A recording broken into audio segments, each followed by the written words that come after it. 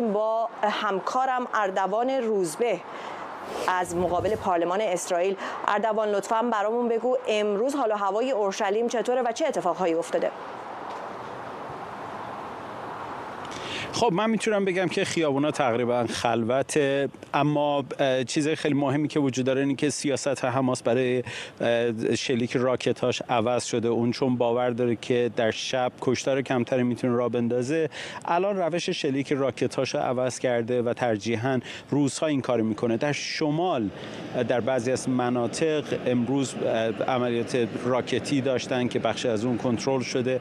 من هنوز اطلاعی از اینکه آیا باعث خسارت جانی شده باشه اطلاعی ندارم اما می‌دونم که این روش باعث این شده که اون عملیات کور شلیک بتونه بیشترین حجم از مردم رو تحت شعا قرار بده تا بتونه فشار بیشتری بر روی اسرائیل بیاره. اما ملاقات های امروز بیشتر از هر چیزی که در جبهه جنگ اهمیت پیدا کنه در اینجا یعنی در پایتخت همینجا در پارلمان و جایی از این دست بوده. دیدار لوید آستین وزیر دفاع آمریکا با آقای بنیامین نتانیاهو و بعد از اونم وزیر دفاع اسرائیل.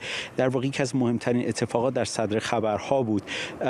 آقای آستین به سراحت اعلام کرد که در کنار اسرائیل خواهد موند و با این جمله صحبتاش امروز در کنفرانس خبری آغاز کرد.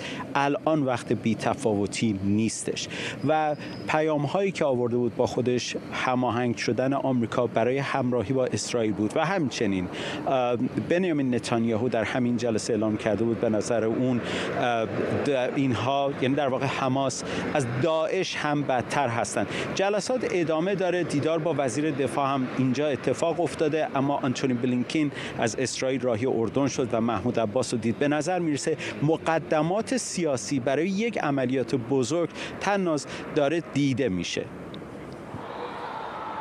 ممنونم از تو روزبه اردوان. اردوان روزبه ببخشید همکارم در اورشلیم.